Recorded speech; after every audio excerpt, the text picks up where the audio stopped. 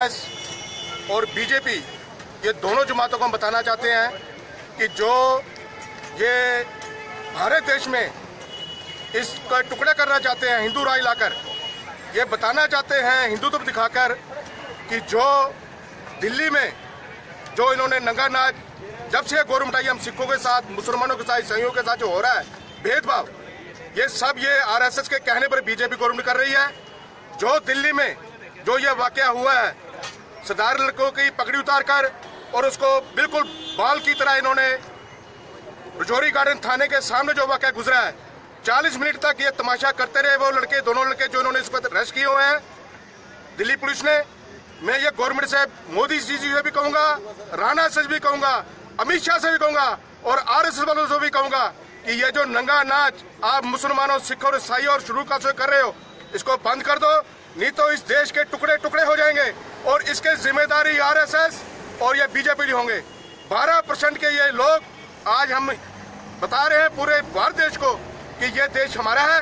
आज यूपी में सीएम बना है आदित्य और उसने कल गोरखपुर में एक पोस्टर लगा दिया कि मुसलमान यहाँ से भाग जाए, गाँव खाली करके चल जाए। उसके बाद यूपी में इसने एक और जगह गाँव में पोस्टर लगाए, जहाँ पर उनको भी चैलेंज किया है। कि आप मुसलमान यहाँ से गाँव खाली करके चले जाएँ। मस्जिद पे इन्होंने अपना झंडा लगा दिया है। ये हिंदुस्तान को तबाह करने में तुले हुए हैं। ये लोग सिख और मुसलमानों को बोलते हैं, ये कौम के गरदार हैं, या ये देशद्रोही है। मैं कहता हूँ, आरएसएस और बीजेपी, मैं पूरी दुनिया को कहता हूँ, ये देशद्रोही है और ये उग्रवादी है। सही मैंने, में हिंदुस्तान में जो उग्रवाद डाला हुआ है, ये आरएसएस और बीजेपी लेवल डाला हुआ है और किसी ने डाला हुआ है। ये हम लोगों को चैन से नहीं रहने देंगे। इन्होंने अब बंटवारा करना है। अगर ये भगाना चाहते हैं तो मैं कहता हूँ पूरे अवाम से, सब भाइयों से कहता हूँ कि इनको भारत देश से बाहर निकाला जाए और हम लोग अब चैन चैन की नींद सो सकते हैं।